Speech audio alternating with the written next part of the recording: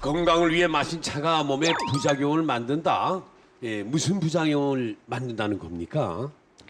어, 결명자 차라고 아시죠? 알죠? 예. 예. 근데 결명자 차가 좋은데요. 근데 저혈압인 사람이 에, 결명자 차를 장복하게 되면 또 저혈압을 더 이렇게 심하게 만들 수 있고 그리고 너무나 수분 배출량이 이렇게 과하게 되어서 탈수 증상을 일으킬 수 있습니다.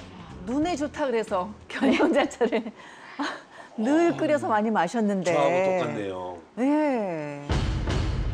그리고 이제 살 빼준다는 마태차가 요즘 굉장히 유행을 하고 있는데요. 이제 이게 이뇨작용이 있는 만큼 강심작용이 있습니다. 그래서 그게 이렇게 적당할 때는 이상이 없는데 너무 마태차를 과용하게 되면 심장 질환을 일으킬 수 있다. 심장이. 심장. 예. 지금 말씀드린 대로 이렇게 맹물보다 그냥 물보다 이왕이면 내 몸에 좋은 효능이 있는 것을 마시자고 했던 것이 예. 오히려 건강에 악영향을 미친다라는 그런 사실을 명심해 주시기 바랍니다. 예, 그렇습니다. 중년 남성들에게 폭발적인 인기를 끌고 있는 산수유, 헛개나무. 이제 제대로 알고 드시길 바랍니다. 이번에는 중년 여성들이 열광하는 달맞이꽃 종자유입니다. 아, 달맞이꽃 종자유. 달맞이꽃이 또 얼마나 예쁜데요. 아이고 네. 그러면 저거 어. 인제 나왔네. 예. 그게 여성들을 위한 회춘의 명약이라고. 그러니까 이게 또 주- 친구들도 다 먹고 나도 회. 아, 이게 왜 이래? 예. 아 불안해져. 벌써, 예. 아, 이, 뭐가 안 좋은 건가 되신 봐. 것 같아요. 그러니까 일단 어. 나온 거 보니까. 어. 어. 아니 제 친구들도 달맞이꽃 먹고 뭐 꽃을 따서 효소를 담그는 친구도 있어요. 그 정도로 여성에 좋고 갱년기에 좋고 그런데 뭐 아니 이게 나도 뭐가 문제예요? 먹을라 먹고 있어요. 말이 끝까지 안 나가 그냥 불안해서. 아, 네. 드세요? 예, 네. 달맞이꽃 종자유를 오히려 이제 이걸 너무 열심히 드시다가 또 장 건강을 망치는 경우가 있습니다. 아 그래요?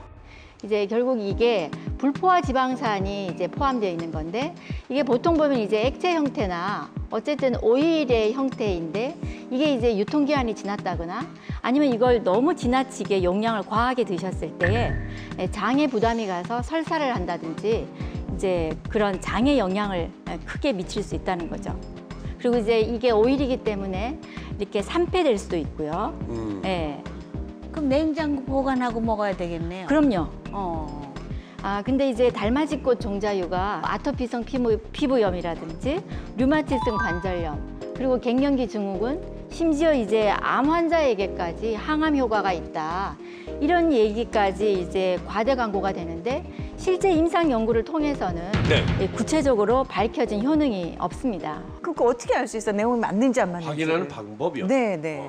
예, 그러면 이 달맞이꽃 종자유를 먹다가 평소보다도 장 내부에 가스가 많이 차고 설사를 한다든가 이제 아니면 배가 아프다든가 이러면은 반드시 중단을 하시고 이제 의사 선생님과 상담을 하셔야 될 것이고요. 그리고 이제 이걸 너무 이제 과다 복용했을 때에 이제 갑작스럽게 질출혈이라든가 이제 출혈이 났을 때는 너무 과한 그 에스트로겐에 영향이 있을 수 있겠죠. 그래서 무엇보다도 하루 권장량이 240ml에서 300mg을 지켜야 된다. 너무 과했을 때는 여러 가지 부작용을 일으킬 수 있다. 이렇게 생각하시면 되겠습니다. 예, 한 가지만 더 그런 네, 말씀드리면 장의 문제를 이제 설사나 이 얘기를 하신 거는 뭐 다른 이유도 있겠지만 이 기름 성분이잖아요. 어차피 그러니까 기름은 소화되지 않으면 장에 가서 자극해서 설사를 하게 돼요. 근데 언제 먹느냐도 중요하기 때문에 식사하면서 먹어야 담즙이 나와야 기름이 분해가 되거든요. 예, 따라서 그냥 공복에 갑자기 먹었는데 갑자기 계속 설사한다면 식후 바로 복용하는 걸로 한번 바꿔 봐도 계속 문제가 된다면 중단을 하시는 것도 또 방법일 수도 있습니다. 네, 지금 방금 저 지적해 주신 대로 대부분의 건강기능식품은 오히려 식후에 바로 먹었을 때에 훨씬 더 좋은 그런 그 영향을 미칠 수 있고요. 그리고 이제 일반적으로 좋은 영양제니까 식전에 먹어야 더 좋겠지. 왠지. 오히려 오해와 그리고 부작용을 많이 일으킬 수 있습니다. 자, 가족 건강을 위해 챙겨 먹었던 수많은 건강식품. 어, 분명 그 속에는 효능도 있고요. 또 미처 몰랐던 문제도 있습니다. 그렇다면은 이 건강식품을 구입할 때 우리가 어떤 점을 살펴야 안심할 수 있을까요? 대부분 우리나라 사람들이 미국 FDA라는 말만 나오면 맹신하는 경향이 있어요. 아, 네. 예, 맞아요. 예. 그래서 이제 그 제조회사에서 상술로 FDA에 승인을 제출해 놓고 승인 받은 것처럼 이제 이런 경우도 이렇게 많습니다. 야, 그런 네. 잔머리 도 있네요. 네. 아니 어. 그렇다면 그것도 이제 저 혹시 그것도 우리가 속을 수가 있다면 그럼 대체 뭘 보고 우리가 골라야 예, 됩니까? 뭘 보고요? 이제 우리나라 그 식품의약품 안전청 그러니까 식약청에서 그 허가하는 안전식품인가를 확인하는 것이 중요합니다. 그래서 크게 두 가지로 나뉘는데요. 네. 건강기능 그 식품 로고가 있습니다. 그리고 GMP 마크가 이제 확인해야 되는 것인데 어, 수입품인 경우에도 어, 식약청에서 인정한 제품들은 한글로 이미 표시가 되어 있습니다. 네. 여기 있네요, 위에 뒷부분에. GMP. 네. 예. 그리고 이제 무엇보다도 식약청 건강기능식품 정보 그 사이트에 그 어, 푸드나라라고 식품나라.go.kr을 이렇게 가셔서 한번 확인해 보시는 게 좋겠습니다. 예. 자, 내 건강 챙기려고 먹는 건강식품의 실체. 그런데 더 큰 문제가 또 있다고 합니다. 정말 제대로 알고 해야 하는 것. 부황 있죠? 네. 부황과 이 뜸에 대해 알아보겠습니다. 부황. 착 서랍 열더니 탁 갖다 붙이더니 네, 네. 아니 그거보다도 네, 어. 그 부항기는 보통 가정집에 거의 웬만한 있는 집에 다. 있죠. 다 웬만한 집에 다 있어요. 있죠. 그러니까 사우나 가면은 웬만한 주부들 야 저기 다 있어요. 동그랗게 다 멍이 온 몸에. 야. 아니 이게 무슨 문제가 있어요 부항기가? 부항요법이라고 하는 건 우리가 피부에 부항기를 부착해서 압력을 줘서 혈액순환에 도움을 주고 또 통증을 완화시켜 준다고 알려져 있어요. 네. 그래서 이제 다들 이제 집에 자가 요법으로 부항기를 한 세트 다 어, 구비하고 계시죠? 네. 예. 근데 이제 이게 우리가 특정 부위에 이제 네. 우리가 원하는 경혈에다가 이제 부착을 해야 되는 것인데 아, 예. 아무 데나 그냥 쭉 줄 세워서 1차 뜨고 2차 뜨고 이렇게 쭉 뜨게 되는 것은 굉장히 위험하고요. 그리고 이제 더더군다나 그냥 건식 부항은 그래도 뭐 큰 부작용이 없다고 하는데요. 이제 습식 부항이라고 해서 이제 바늘로 막 이렇게 에, 피를 내서 그걸 이렇게 피를 이렇게 쫙쫙 이렇게 뽑으면서 시원하다고 이제 네, 이렇게 하시는 분들이 계세요. 그런데 습식 부항을 집에서 잘못하게 되면 이차적으로 피부 감염이 되어서 병원을 찾아오는 경우가 많습니다. 그리고 이게 왜 이제 어떤 사람은 멍이 들고 어떤 사람 은 멀쩡한 사람도 있어요. 근데 어, 이제 왜, 왜? 멍이 들때또 이게 진하게 멍이 들면 독소가 많이 빠져나와서 좋은 거다. 뭐 이런 상식이 있잖아요. 이게 맞는 사실이에요? 건가요, 아닌가요? 네, 근데 이제 시술 후에 이제 반응이 여러 가지 있는데요. 이제 부항을 뜬 표면을 보면 색깔이 진할수록 어, 해당 혈자리의 소속 장기가 나쁘다. 이건 조금 이렇게 과하게 포장된 내용이고 계속 이렇게 바늘로 이렇게 찌르지 않아도 이게 이제 처음에는 딸기와 같은 흔적이 나면서 나중에는 여기서 또 수포가 이렇게 생겨요. 왜냐하면 음압을 계속 주고 30분 이상 주게 되면 어떤 피부라도 그런 수포 반응이 생기거든요. 근데 문제는 그런 수포 반응이 무슨 명현이다. 이게 뭐 독소가 빠지는 거다. 이거는 절대 아니라는 사실을 네. 오늘 말씀드리고 싶습니다. 예. 피가 뭉치잖아요 공기에 예. 닿으면 이게 나쁜 피가 나와서 그런다 뭐 이런 말까지 들었거든요. 어디서 저 그런 걸 주워 듣고요. 네, 그뭐 착착착착 이렇게 해가면서 특히나 부항요법을 한의원에서 했을 때는 그 한의사가 꼭 필요한 혈자리에 꼭 필요한 부위에 적당한 압력을 줘서 하게 되는데요. 그리고 무엇보다도 일회용 부항컵을 사용하거든요. 어. 예.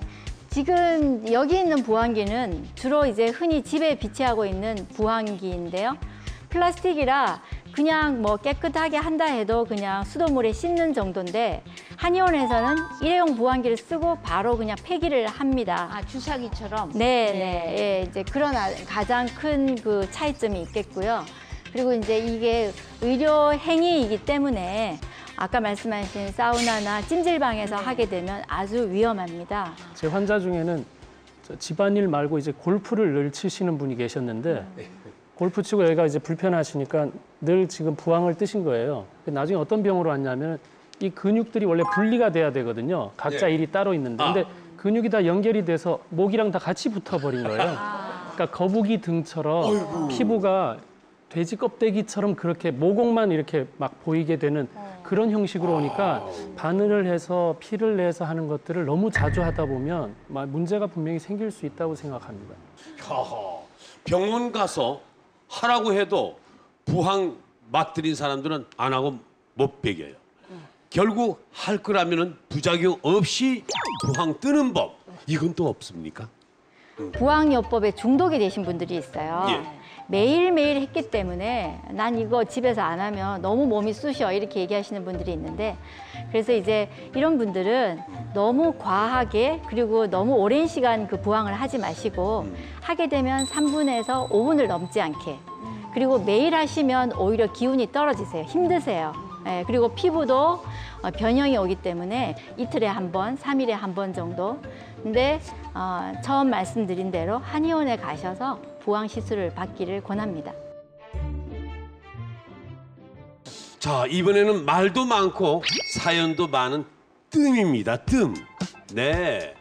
뜸 시술은 얼핏 보기에는 뭐 누구나 손쉽게 따라할 수 있는 아주 간단한 시술인 것 같지만 그렇지 않습니다. 그 뜸을 어떤 재료를 쓰느냐, 그리고 어떤 부위에 할 것이냐, 어떤 강도로 할 것이냐, 단계가 없기 때문에 어디서나 쉽게 뜰 수 있는 뜸이 아니라는 것을 여러분들께 말씀드리고 싶습니다. 어허. 그냥 막 집에서 할 일이 아니군요. 네. 아, 근데 이게 아무나 함부로 할 수 있는 게 아닌데 자기 마음대로 대충 하다가 오히려 몸을 망치는 경우가 있는 것 같은데요. 그럼 어떤 문제가 가장 많이 생깁니까? 직접구와 간접구가 있는데요. 이제 간접적으로 뜸을 뜰 때는 큰 문제가 일어나지 않습니다. 그래서 이제 한의원에서 주로 많이 쓰는 것은 뭐 침을 놓고 그 위에 뜸을 뜬다든지 아니면은 생강 절편 위에 뜸을 뜬다든지 아하. 이런 간접적으로 피부에 직접 상하지 않게 하는 것은 큰 문제가 없는데 어르신들은 왠지 피부가 타야 이게 효과가 이렇게 금방 나는 것 같아서 엄청 뜨겁거든요. 직접 굴을 하면 예. 그 뜸이 가장 크게 이제 부작용이 오는 것은 가장 크게 이제 부작용이 오는 것은 직접 굴을 하면 예. 그 뜸이 가장 크게 이제 부작용이 오는 것은 결국은 화상 그리고 이차적인 피부 감염입니다.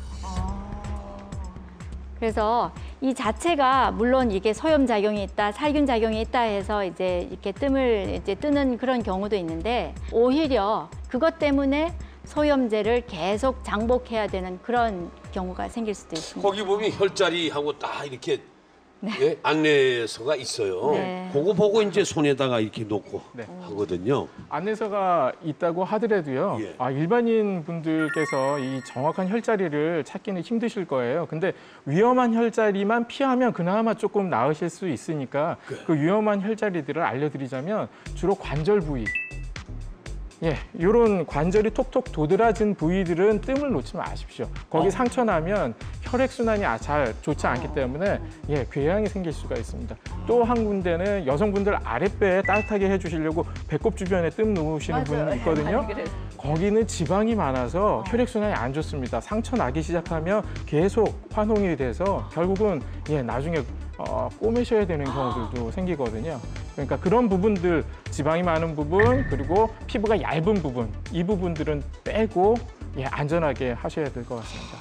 그러니까 이게 잘못된 경우가 많은데 그러면 이게 뜸을 뜨고 나서 이게 내가 잘 뜬 건지 아니면 이게 잘못되고 있는 건지 알 수 있는 방법이 있습니까? 직접 구, 그러니까 직접 피부에 뜸을 뜨는 경우라도 이게 이제 삼사일 정도 지나서 그냥 자동적으로 우리가 상처 아물듯이 아물고 특별한 열감이 없다면 이제 크게 문제가 일어나지 않는 것인데요. 피부에 화농성 그런 변화가 올 때는 굉장히 그 부위가 뜸을 떴던 부위가 굉장한 발적감, 뜨거우면서 그리고 잠을 못 잘 정도로 통증이 심하고 그리고 또 나중에는 이제 어, 진물이 온다든지 그 통증을 이루 이렇게 참을 수 없을 정도의 통증이 온다면 그것은 명현 반응이 아니라 부작용입니다. 예, 피부 감염이 온 것이니까 예, 바로 처치를 하셔야 됩니다.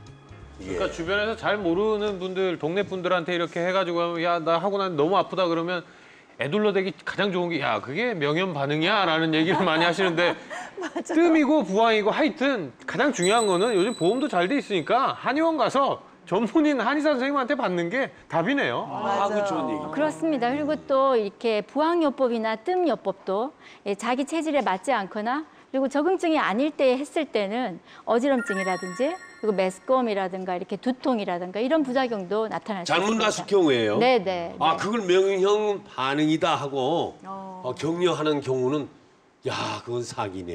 음. 야. 나 많이 당했네. 건강을 위해 챙겨 먹는 건강식품.